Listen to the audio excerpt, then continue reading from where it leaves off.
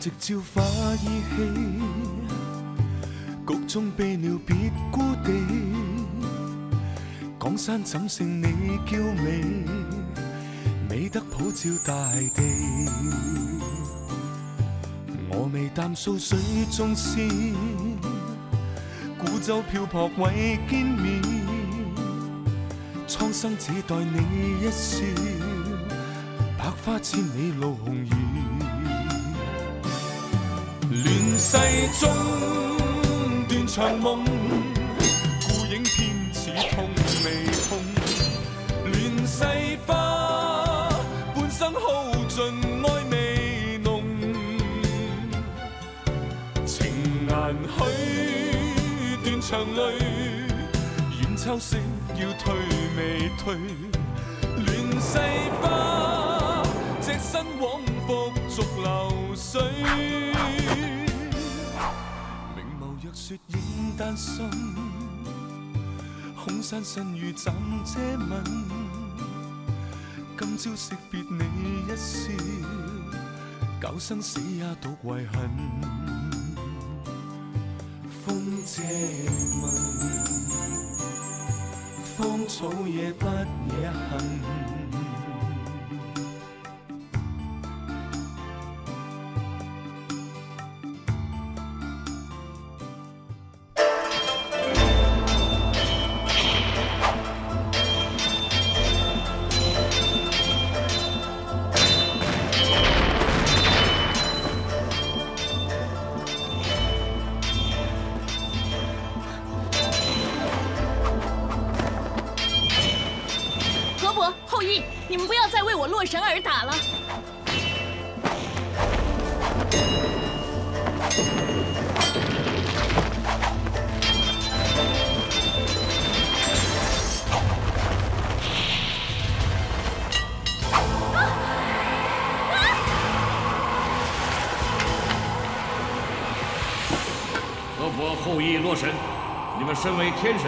竟然因为男欢女爱而互相杀戮，实在有失天神的体统。天帝，河伯却有洛神如此娇妻，竟不懂珍惜。不但与水族女神私通，还要民间年年献闺女做心腹，后羿才出手惩治。天帝，后羿血口喷人，根本就是洛神不守妇道，而后羿也起淫心，才会有如此丑事。不是啊，天帝。洛神虽然因为寂寞而对后羿动了情心，但是我们只有神交，绝无苟且。洛神，你妄动情心就是罪魁祸首，如今贬你下凡，受尽生老病死之苦。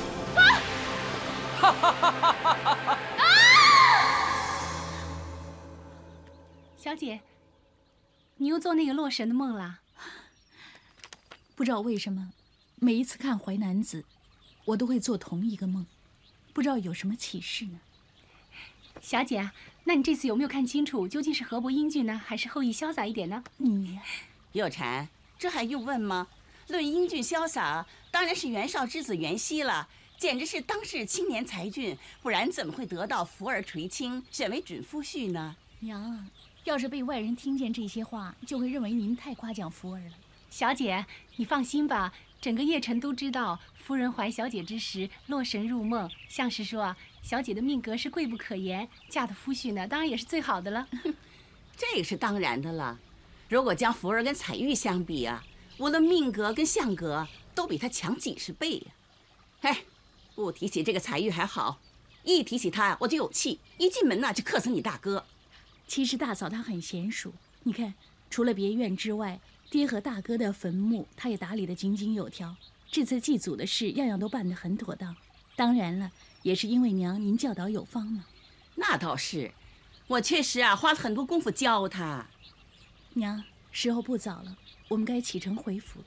哼，婷婷啊，你肚子还疼吗？娘还有点疼。哎，只有福儿才说你这个嫂子好，你又给女儿吃什么了？想早点回去都不行。娘，大家休息一下也好。大嫂，去帮婷婷擦点药油吧。哦，走吧，婷婷。嗯，这里啊虽然是元军管辖之地，但是啊我还是怕有山贼嘛。娘，娘，三妹，三妹，什么事啊？哎呀，什么事糟娘啊了！哎呀，可千万别让我说中了，有山贼啊！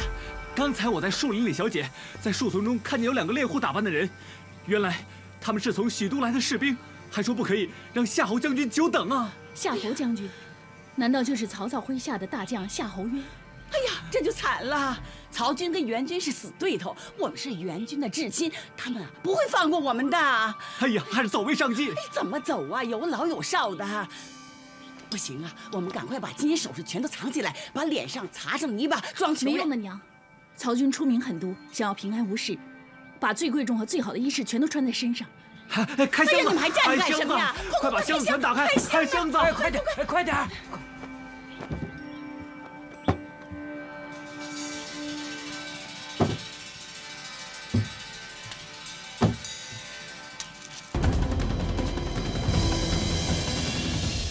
夏侯将军，想不到在这儿见到大驾。我是卞夫人的外甥女甄宓，当日在曹府做客的时候，曾经见过将军一次。一年没见了，将军的雄风依然不减。这位小姐，我看你认错人了。怎么会呢？当日司空大人挥笔写《游君山》的时候，甄宓正在仪仗身旁磨墨。金阶玉为堂，枝草生殿旁，东西厢客满堂。主人当行商，作者长寿俱何央？这段诗福儿真的很喜欢，所以特意写在了团扇之上。啊，要不请将军带回去呈给仪仗，让仪仗看看我的字有没有进步。好。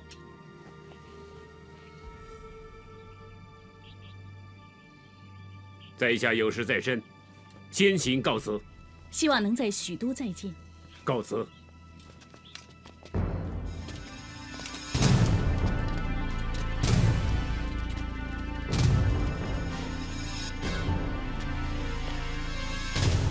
夏侯将军，甄宓差点忘了，还有这条玉项链，有劳将军带回去给姨妈。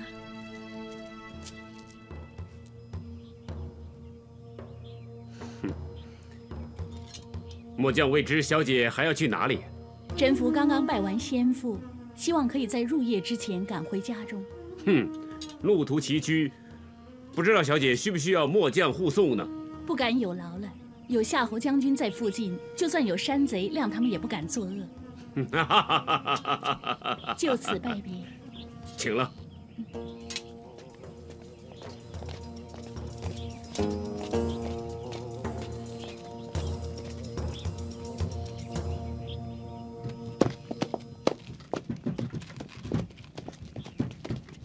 福儿啊，幸好你够机警，瞒过了曹军。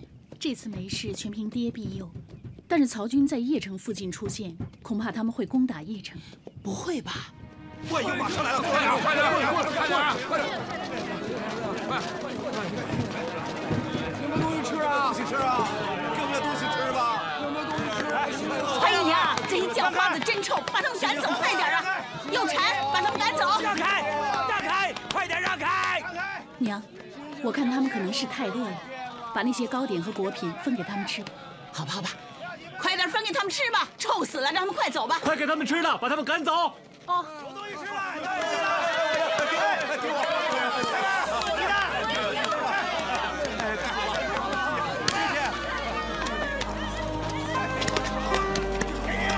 我肚子饿，你快点吃吧。这位女子真有孝心啊！谢谢你，小姐，谢谢。原来不是两母女。在这种环境之下，还这么有善心，真是难得。谢谢。哎，给我！你还给我！我吃，我要吃！你快点还给我！给我，去死吧你！哪里？阿管、阿丽，拉开那个人！哪里？给我！给我！滚开！大家给我！你的心地这么好，不应该有这种恶报。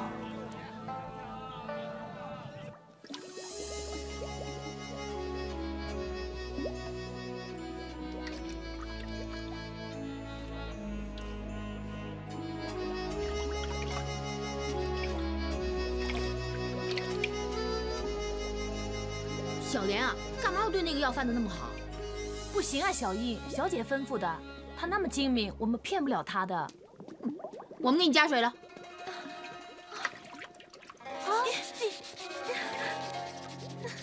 我们的家业全都在这儿，如果曹军打来了，我们怎么办呢？哎呀怎么办呢？糟了糟了，夫人小姐，干什么呀？大惊小怪。刚刚带回来的那个叫花子呢，他身上长的不知道是什么东西呀、长什么东西啊？简直好恶心啊！哎呀，怎么搞的？快去看看。怎么这么麻烦啊？小姐快走。小姐，什么事？不得了了！原来刚才我们带回来的那个女子呢，她的来历不简单啊！哦哎呀，哎，你说她是不是疯子呢？这么大热的天，你盖着被子干什么？掀开吧！你盖的这么严，一定有问题。掀开！抱着掀开！掀开呀！掀开呀！啊哎呀，长得什么呀？怎么全身都是？脚上也有。马上叫人把他抬走，不能留在这里。不要！我求求你，不要！他不走的话，就把他绑走。哎，你不能进去啊！未经通传不得擅闯。哎，到底谁这么无礼啊？老夫是通敌侯，有人报信，说你们收留了我家婢女郭轩，我要你们立刻交人，否则老夫必定追究。侯爷无需动气，我们都是讲道理之人。是啊，我家三妹将嫁与幽州刺史袁熙为妇，大家都是有身份的人，有事慢慢商量嘛。这张是郭轩的卖身契，我求求你们，不要赶我走！我求求你们，求你们了，求你们了！郭轩，本侯爷待你不薄，你竟然要逃走，实在是不知好歹。我宁愿死，也不会嫁给侯爷为妾。夫人、小姐，侯爷夫人她心肠毒辣，每个妾室进门不够半年就被他害死了。你胡说！侯爷，你年纪七十，寿数将近。住嘴！你竟敢恶毒诅咒本侯爷！看来你这个婢女够厉害的。当初我们不知道她是侯爷的人，才收留她的。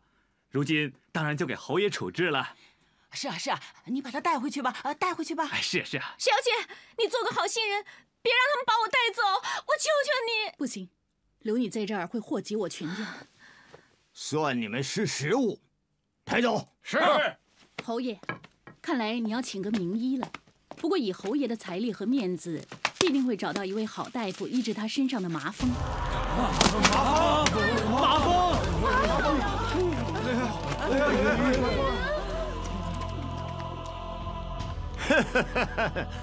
本侯爷没那么容易被你们吓着的。啊！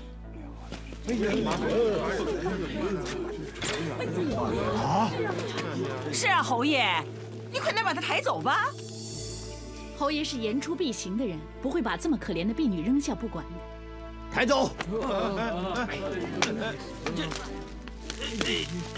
哎呀，快把他用过的被子全扔了！他摸过的地方要用开水烫啊！快去，快去！哎，停！把他扔在这儿，让他自生自灭。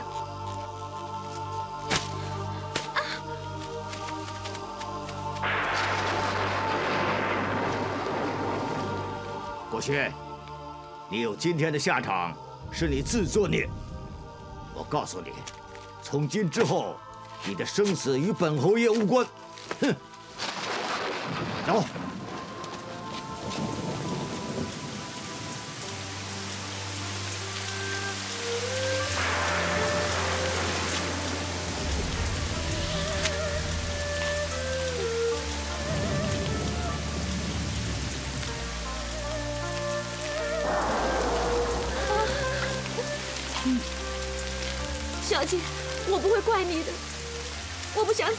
身之地，我不想传染给别人。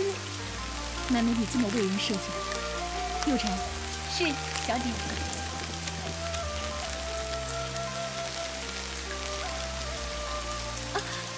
你用不着害怕，你身上长的不是麻风，是水痘。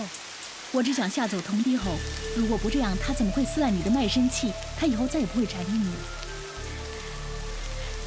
小姐，我的命是你救回来的。谢谢你不要再说了，先扶他回府吧。是，来，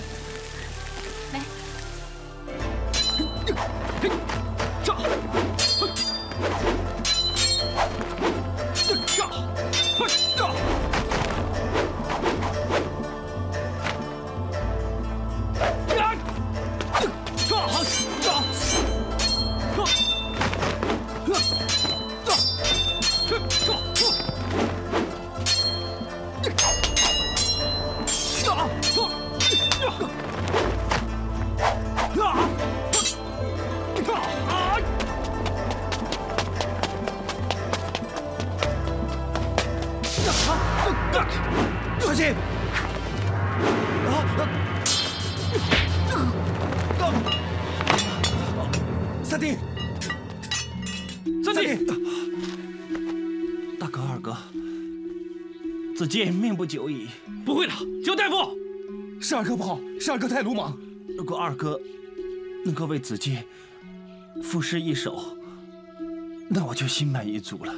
在这个时候还念什么诗啊？谁负责打扫庭院的？我要把他满门抄斩。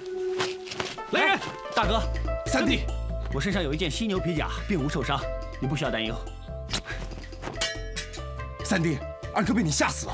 幸好有这件犀牛甲，这件犀甲是爹以前收的贡品，爹刚刚赐给我的，甲纹细密，果然是真品。大哥你喜欢的话，我转赠给你。不行，这怎么行？啊？你收下吧。你经常要征战沙场，送这件犀甲给你，就等于宝剑赠英雄。好，爹，好，好，好，你们的确可以做到兄友弟恭。嗯，子健，既然你将西甲赠予子桓，那么为父就将这支鸣笛剑赐给你。这支就是吴皇人的神剑，不错，这支剑无坚不摧，再配上子剑的剑法，就更加相得益彰了。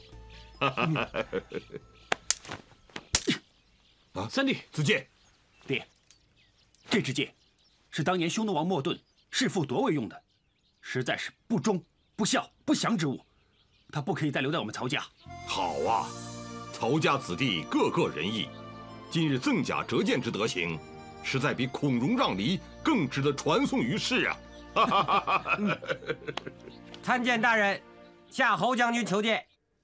大人，袁绍死后，袁尚连同袁熙与袁谭争夺大位，所以邺城的防守松懈，要攻进去实在是大好良机。从来都是鹬蚌相争，渔人得利，我们就准备做一个大获全胜的渔夫吧。爹，子桓愿做先锋，为爹建功立业。嗯，爹，子文也要上阵杀敌。爹，还有子建呢。你答应过我，如果再有战事，你就让我参军出战的。就算要打仗，也得吃饭了。娘，参见扁夫人。大人，夏侯将军是。你跟大人是同宗族的，自己人就不必多礼了。今日就以家宴来款待将军吧。谢夫人。大人，各位可以移步入席了。啊，夫人。末将日前在邺城遇上甄家小姐，幸好她认得我，所以才没有冒犯夫人的外甥女。她托我带这条珠链给夫人。我只有崔夫一个外甥女，姓甄的这个一定是假冒的。大人，此女子言之做作，还说大人写《游君山》的时候，她在旁边磨墨，以致将诗句还写在扇子上。是何女子如此斗胆？一定要好好的教训他。真服！两年前，狗贼张绣投降之后，再师突袭，老夫连夜在徐晃的保护之下，逃离了他的魔掌。徐晃，怎么样？张公子曹昂已经血战身亡。啊！哥大人，你怎么样？嗯，去哪里找大夫啊？他头痛成这样，你们可以用冷水替他浸头，也许可以减轻他的痛楚。你这个小女子懂什么？要我家老爷用冷水浸头，必然风寒。风寒可治，头痛致命。此时此地，就只有这个方法才可以帮他。哦，哥。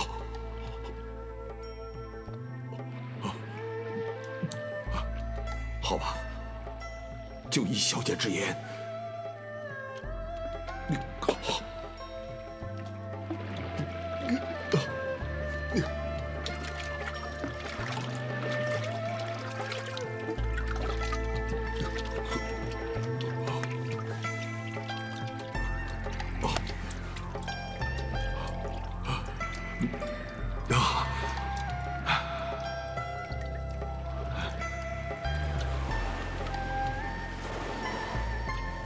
时老夫还不知道这个女子是谁，后来经亲兵打探，才知道原来是故人之女，上蔡县令甄毅的女儿甄宓。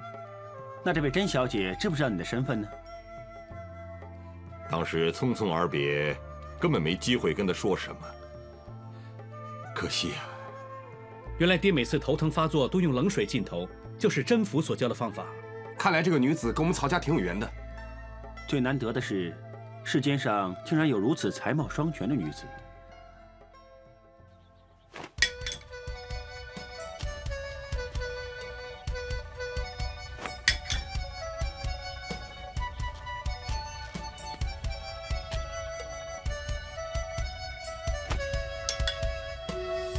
三弟，你今日连番失手啊！因为他神不守舍。三弟，你又打什么鬼主意呢？还是大哥了解我。江南有二乔，河北甄宓俏，你们一定没听过吧？甄宓竟与大乔、小乔齐名。三弟，你有没有夸大其词？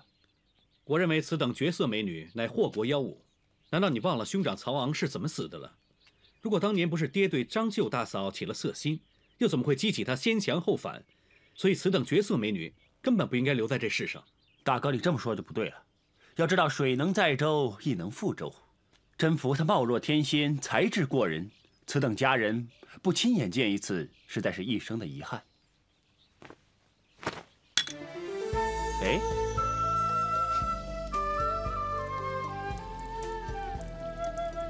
小姐，你看，柔扰轩轩，果然人如其名，娟好秀巧。轩轩是我的小名，出自《太史公记·司马相如传》。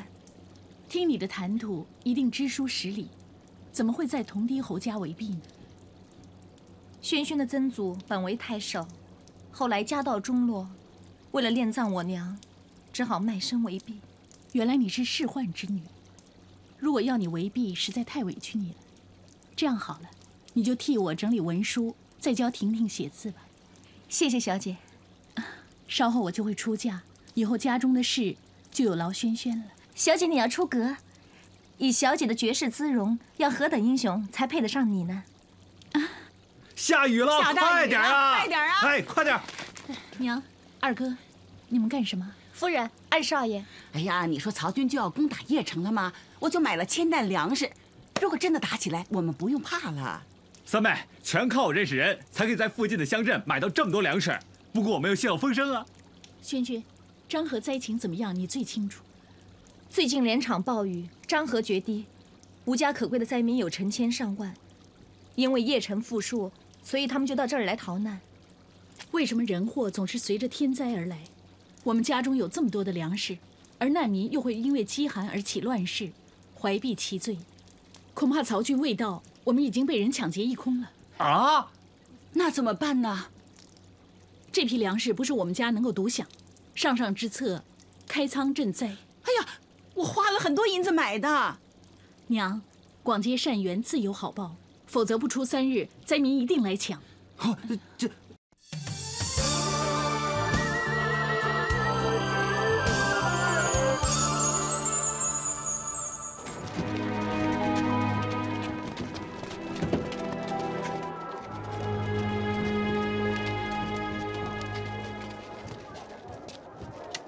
你看有多少难民？三公子，千里迢迢到这里来，就是为了见那个甄宓。这里可是袁家老巢，要是不小心，那就会一筹莫展，一命呜呼，一死了之啊！你要是再啰嗦呢，我就把你一了百了。我决定的事情一定要做到。抢啊！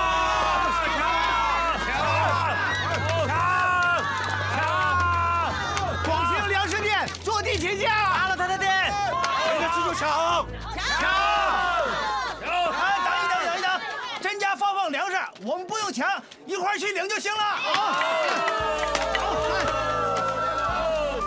慢慢来，慢慢来，排好队啊！排好队，排好队，一个个来啊！哎，排好队，排好队，不要挤了啊！不要挤了！天无绝人之路。赶出去！谢谢谢谢谢谢谢，多给他们点。是小姐，谢谢甄小姐。一个给一个，哎，排好队，排好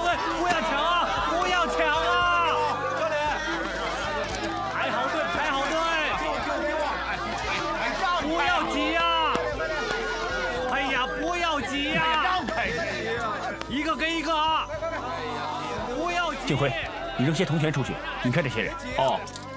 别急啊！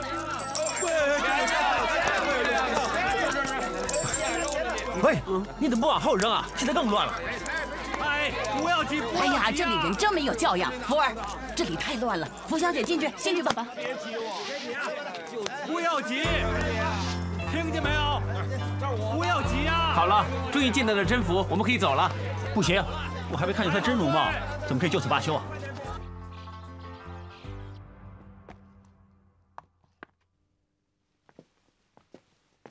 这盒酥饼是皇上御赐给爹的，为了大人允许就擅自取食，似乎于理不合。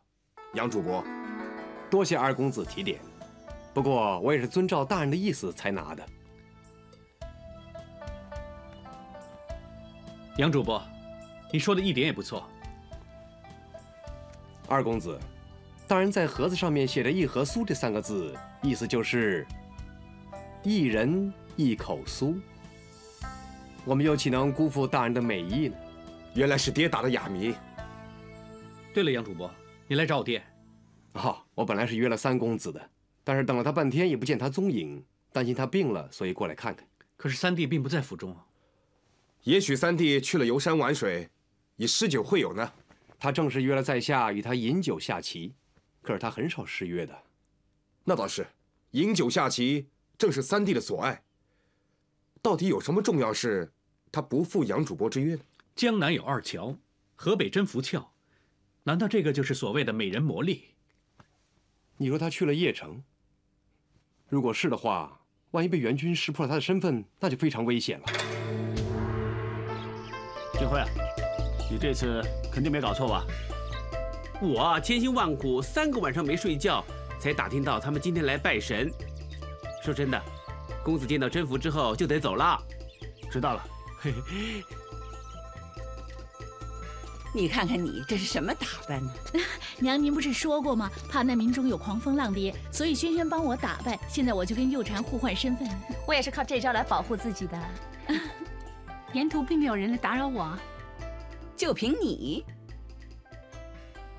甄夫人，来还神呐！妙祝，我曾经在城隍老爷面前许过愿，如果我女儿能嫁到富贵人家，我就重期金身以谢神恩。当然了，甄夫人得到了袁熙这位好女婿，真是恭喜恭喜。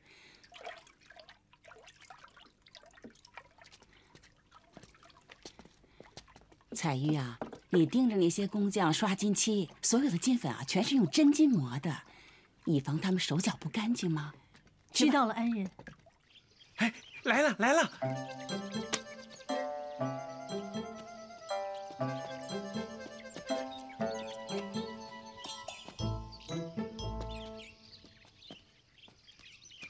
小姐坐。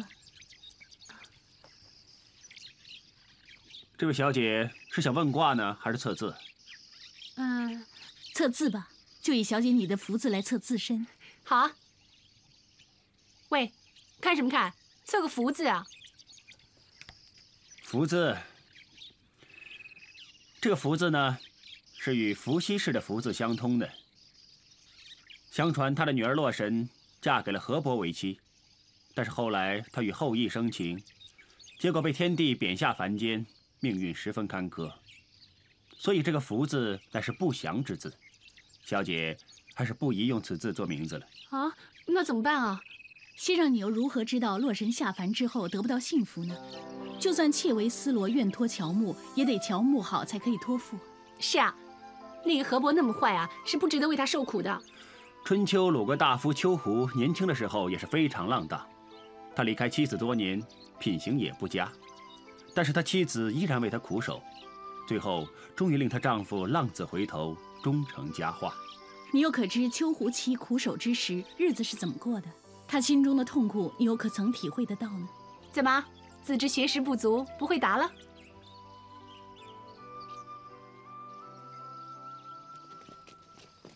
小姐，走啊！这才是铁签呢！走吧，走吧，公子，快走啊！快来人呐！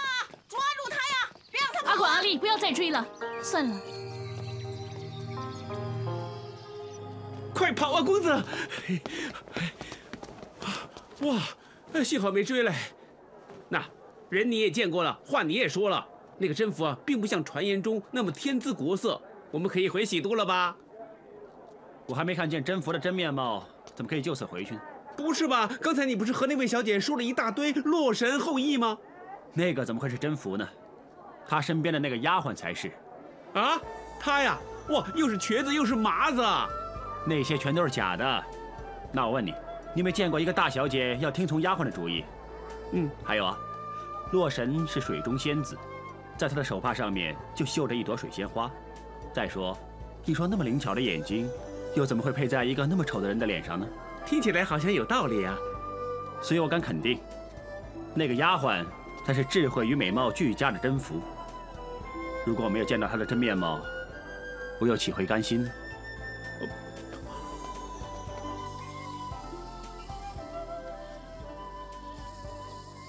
三公子，不管这次能不能见到甄宓，我们一定得走了，因为盘缠已经用光了。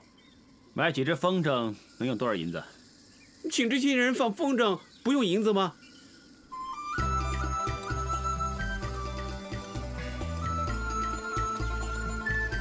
你还说包他们两顿饭，如果风筝飞进甄家呢，还有重赏，这要多少银子才够呢？景辉，难得有这么壮丽的场面，你就别这么计较了。如果甄宓看见了，他一定会欣赏的，到时候我就大功告成了。嗯。小姐，你看，哇，风筝全在我们的屋顶上面飞，一定是为小姐放的。哎，外面这些狂风浪蝶越来越猖狂了。上次那个什么，呃，装什么解签的，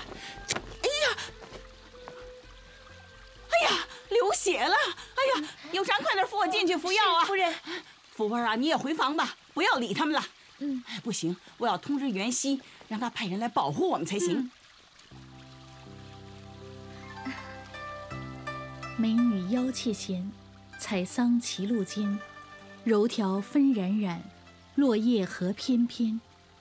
诗中画意清雅，这个人文采不俗。上款写着“水中仙子”，也就是传说中的洛神伏击，也是指小姐你闺名的“福”字啊。下款是“日下放歌，参天古桥”，古桥，乔木又直又高，直木合成是是一个“直”字。放歌。乃是曲一阙，日在其下，是一个曹字。曹植，竟然是那个名满天下的才子。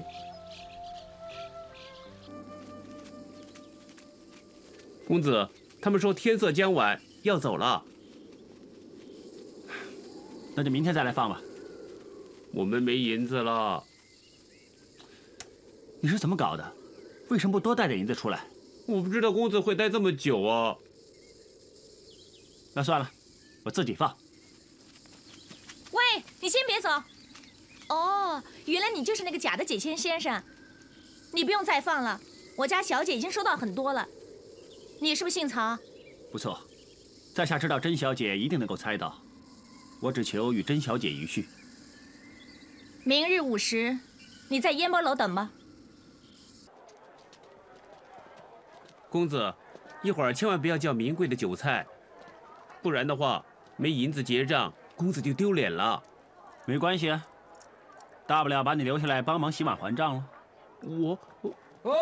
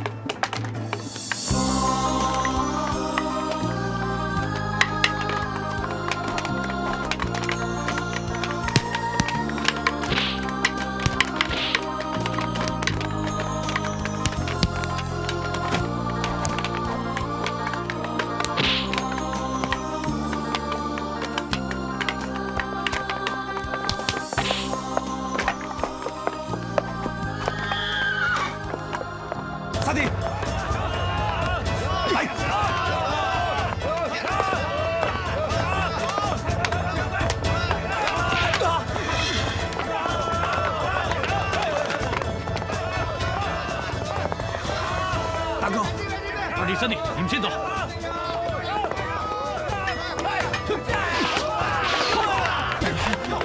大公子，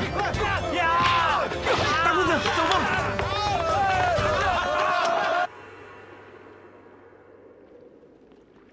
幸好没有伤到筋骨，过几天就没事了。我早就说了红颜祸水，一有机会，我一定杀了这个甄宓。大哥，其实不关甄宓的事，况且这次有惊无险。刚才啊，幸亏大公子、二公子冒险赶来啊。要我说，他们来的不是时候，要不然我就可以跟甄宓啊促膝长谈了。如果让爹知道，你就麻烦了。三弟，以后不许你胡作妄为，知道吗？三弟，这次连二哥也不帮你了。我们知你身犯险地，我们来的时候不知道多担心。你们不用担心，娘说过，说有金龙胎印护身，一定没事。我说并不是什么金龙，是一条书虫才对。应该是一条色胆包天的蛀书虫才对。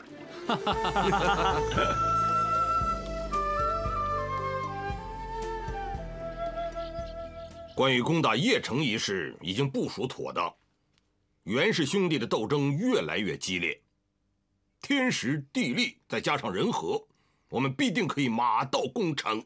爹，子建愿当先锋，为大军开路。哎，你并无实战经验，还是留在爹身边作为参谋。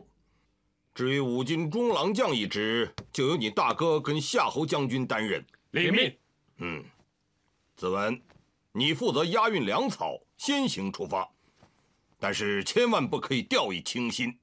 知道，大哥，刚才爹那么用力拍你的伤口，你没事吧？幸好我忍住没叫出来。对了，杨主簿，多谢你刚才为我们隐瞒。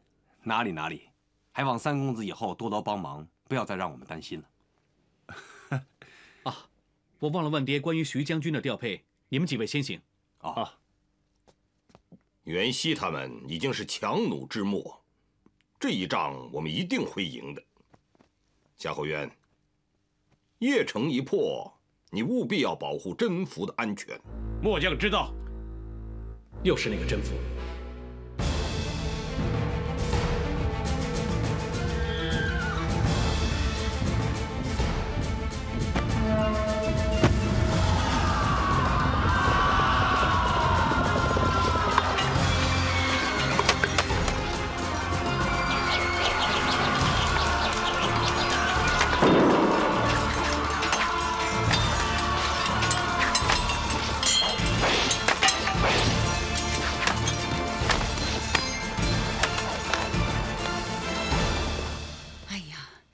邺城被困多时，袁熙带着大军，怎么这么久还未能将曹军打退呢？只怪袁尚和袁谭两兄弟要争权，拥兵自重，才会分散兵力，令曹军有机可乘。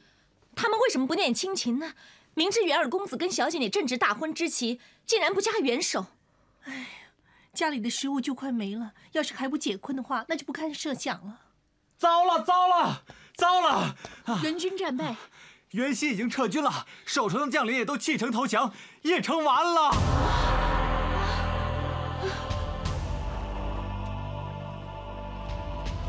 大公子，袁熙已经退兵，邺城的守将也都投降了。夏侯渊那边情况怎么样？城西那边还有一些残余的援军在抵抗，所以夏侯将军还没有进城。好，我们一定要先夏侯将军进城，杀了那个祸国的甄宓，否则。此女子必误我曹家。这个袁熙真是岂有此理！即使撤军走，也带着我们走才行啊！就把我们扔在这儿了。可以及早知道他的真面目，应该庆幸没嫁给他。可曹军出了名的杀人不眨眼，就像上次攻陷徐州一样，他们已经屠城了。哎呀，你不要说了，福儿，你这么聪明，一定有办法救我们的。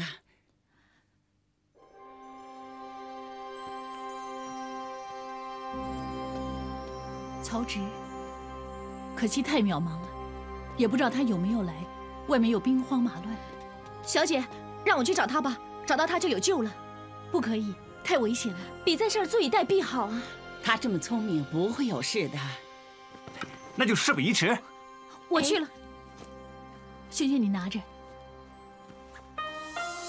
如果找不到曹植的话，你有机会就逃生。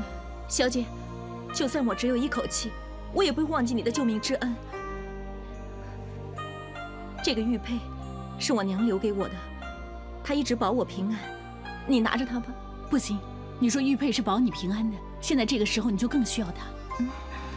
夫人，夫人，后院着火了，还进来了一些人。这还得了？阿广他们呢？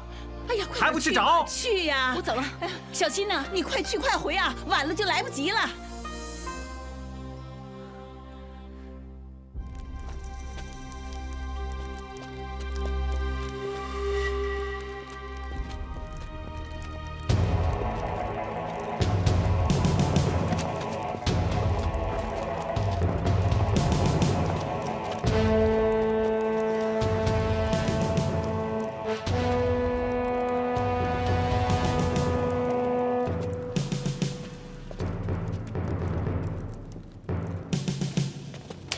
否则，真符何在？说。就在就在前面，直走转右那个榕树胡同里。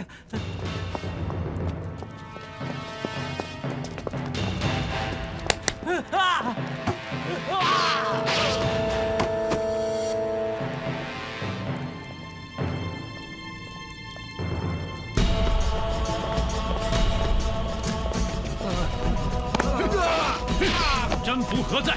在在内堂里。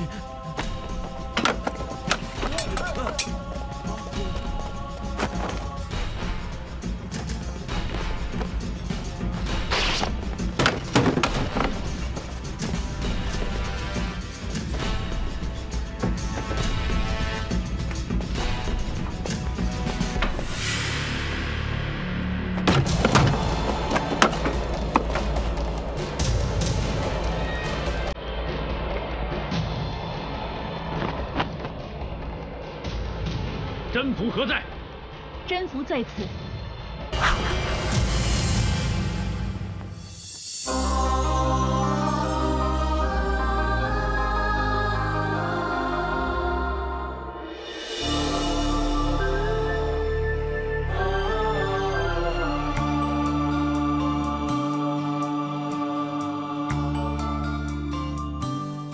长河夕照花依稀，局中悲鸟别孤地。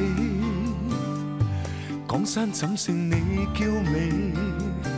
美得普照大地。我未淡素水中仙，古舟漂泊为见面。苍生只待你一笑，百花千里路红雨。乱世中长梦。